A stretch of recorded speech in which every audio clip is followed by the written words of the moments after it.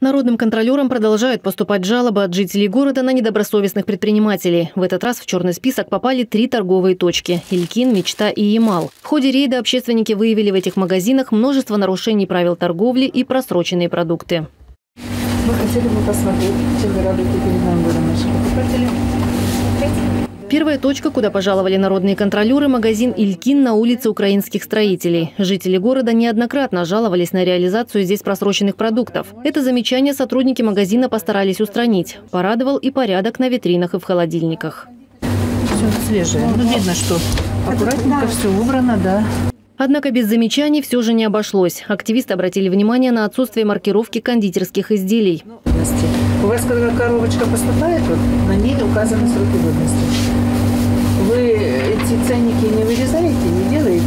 Значит, должны писать здесь полностью ценники. Чистенькое санитарное состояние соблюдается. Единственное, что хотелось бы, чтобы кондитерские мучные изделия были с ценниками производителя, чтобы указывали, и сроки годности. В магазине «Мечта» на улице Комсомольской ситуация аналогичная. Продукция на витринах лежит без всякой маркировки. А вместе с тем покупатель должен знать всю необходимую информацию о товаре и производителе, включая состав, дату изготовления, срок годности и условия хранения. Нашли общественники и более серьезные нарушения – просроченные продукты питания. Десятое, десятое, двадцать пять суток срок хранения. То есть это по какое у нас должно быть? По 5 число? По 5 ноября? По 5 ноября получается, да? Если копченая курица оказалась просроченной на месяц, то замороженные крабовые палочки хранились в холодильнике годами. Снять их с продажи продавец должен был еще пять лет назад. С истекшим сроком годности оказались и другие продукты. Партия рыбных консервов, сгущенное молоко, орешки. В свое оправдание хозяин говорит о том, что вокруг магазина активно сносят ветхое аварийное жилье. Покупателей практически не осталось, отсюда и просрочка. Вот скажите, пожалуйста, а. почему у вас столько все-таки просроченного товара в магазине? А? Вроде магазинчик-то небольшой у вас. Я уже маленький, тут одну маленький магазин, тут за свет надо платить, тут за воду надо платить, все бегать не это.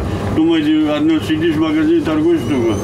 Тут ну, один работаешь. Здесь но вы знаете, это никак не должно покупателей ну, Я понимаю, но... Однако больше всего удивил магазин «Ямал», который расположен в промышленной зоне города. Товар здесь повсюду. Беспорядочно лежит на полках, на витринах, стоит на полу. Морозильную камеру, похоже, не очищали от наледи уже так долго, что в ней успели образоваться снежные сугробы. А в холодильнике – грязь, плесень и испорченные продукты.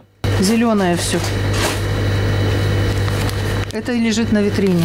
Такого количества просрочки общественные контролеры не видели уже давно. На прилавках магазина не один десяток наименований товаров с истекшим сроком годности. В черный список попали консервированные продукты, рис, чай, яйца и даже детские сладости. Последствия от их употребления, видимо, мало волнуют предпринимателя.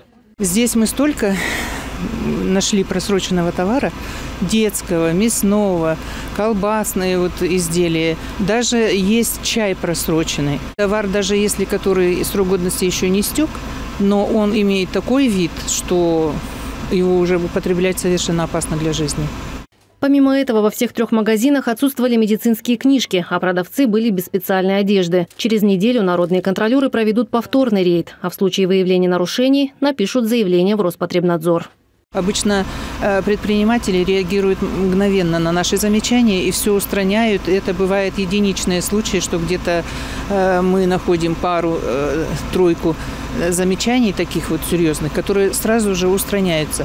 Но магазин «Ямал», магазин «Мечта» – это неисправимые, можно сказать, магазины.